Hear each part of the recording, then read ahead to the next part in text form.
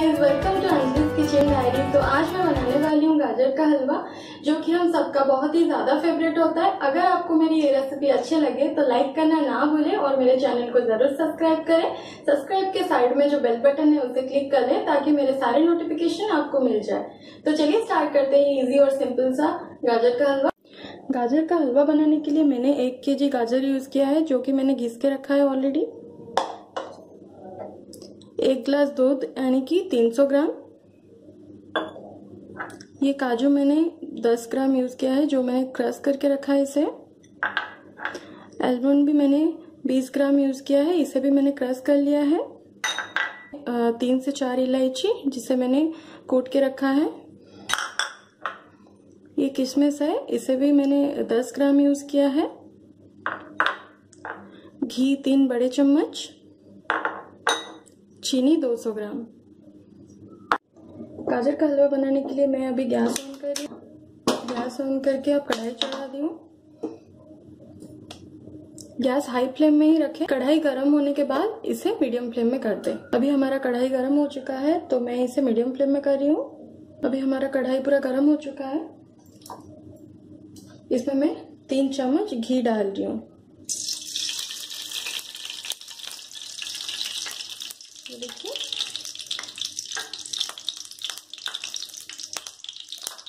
घी को अच्छे से मेल्ट हो जाने दें। देखिए, हमारा घी अच्छे से पूरा मेल्ट हो चुका है। इसमें मैं जो गाजर मैंने घिस के रखा था, इसमें मैं डाल रही हूँ। मैंने गाजर डाल दिया है। अभी इसे अच्छे से घी के साथ मिक्स कर लिया। गाजर हलवा बना रहे हैं तो हमेशा घी का ही यूज़ करें, किसी ऑयल का यूज़ ना करें। घी से बहुत ही अच्छा स्मेल आता है, जो गाजर हलवा का टेस्ट और भी ज़्यादा बढ़ा दे मैंने इसे अभी अच्छे से घी के साथ मिक्स कर लिया है। देखिए, अभी ये पूरा ऑरेंज कलर में हमें दिख रहा है। गैस आप मीडियम फ्लेम में ही रखें और ऐसे मिलाते रहें। करीब इसे हमें 20 मिनट तक ऐसे पकाना है। और बीच बीच में इसे, हमें इसे चम्मच से इसे मिलाना है, नहीं तो ये नीचे से लग सकता है। तो अभी आप देख सकते हैं, ये 20 मिनट हो चुके हैं। तो हमने जितना गाजर लिया था, अभी क्वांटिटी कम हो के इतना से अभी इतना हो चुका है। तो इसे हमें और 10 मिनट तक फ्राई करना है। ये अच्छे से जब भून जाए,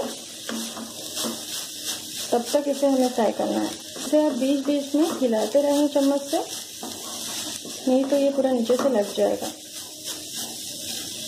तो अभी आप देख सकते हैं, ये गाजर पूरा कितना भून गया है हमारा, चलाते रहें।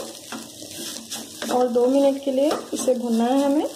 क्वांटिटी भी कितना कम हो गया है अभी ऐसे भुने, इसे मैश कर करके। देख सकते हैं, ये हमारा गाजर पूरा अच्छे से भून चुका है। तो इसमें हम डालेंगे अभी दूध।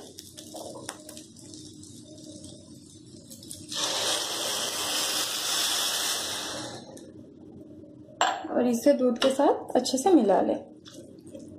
गैस का फ्लेम थोड़ा बढ़ा दें। देखिए, ऐसे अच्छे से पूरा दूध के साथ गाजर को मिक्स कर लें। देखिए, मैंने अभी पूरा अच्छे से दूध के साथ इसे मिक्स कर लिया है। तो अभी इसे हमें लो मीडियम फ्लेम में अच्छे से पकाना है। देखिए, मैंने इसे लो मीडियम फ्लेम में कर दिया है। आप चाहे तो इसे कवर कर सकते हैं, लेकिन मैं कवर नहीं कर रही हूँ। इसे लो मीडियम फ्लेम में आप 10 से 15 मिनट तक पकाएँ, ताकि दूध पूरा गाजर के साथ पूरा मिल जाए। इसे पूरा मैश कर लें आप। देखिए, और बीच बीच में आप चम्मच से हिलाते रहें। तो अभी आप देख सकते हैं हमारा गाजर दूध के साथ अच्छे से पूरा गल चुका है।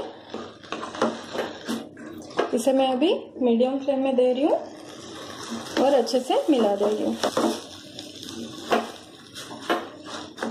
इसके बाद मैं अभी चीनी डाल रही हूँ इसमें।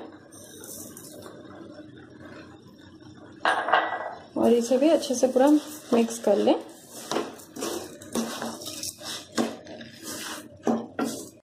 अभी आप देख सकते हैं, चीनी डालने के बाद थोड़ा सा पानी निकल रहा है। तो ये पानी अच्छे से गलने के लिए हमें इसे लो, मीडियम फ्लेम में पकाना है। आप अभी देख सकते हैं, हमारा गाजर का हलवा ऑलमोस्ट रेडी है। इसे बस हमें और दो मिनट के लिए पकाना है। तो मैं गैस अभी मीडियम फ्लेम में कर रही हूँ। और इसमें ये पूरा किसमिस मैं डाल दे रही हूँ और ये इलायची पाउडर पूरा डाल दे रही और इसे अच्छे से पूरा मिक्स कर लो। तो अभी देखिए, हमारा गाजर हलवा ये पूरा रेडी हो चुका है। तो मैं अभी गैस ऑफ़ कर रही हूँ। तो मैं अभी ये एक प्लेट में इसे गाजर हलवा को निकाल रही हूँ। देखिए, मैंने इसे पूरा निकाल दिया है।